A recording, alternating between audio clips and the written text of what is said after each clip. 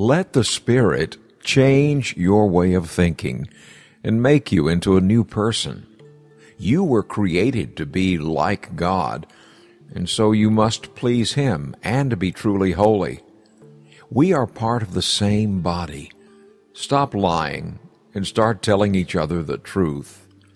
Those words come from Ephesians 4, verses 23 to 25. Some people believe that when you become a follower of Jesus, you must change your way of thinking and your way of living.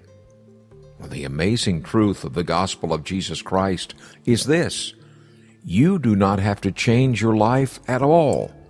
Instead, you have to give the Spirit of God permission to make the changes that need to be made to your mind and body.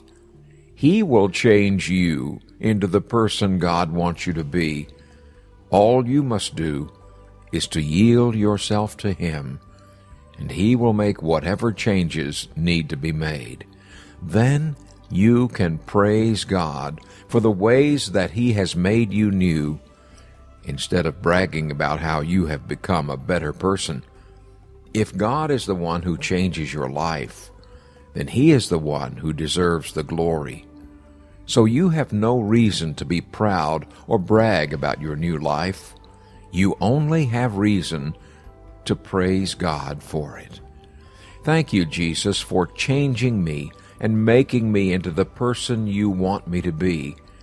Help me today to be more yielded to your will for every day and every hour and every minute of every day.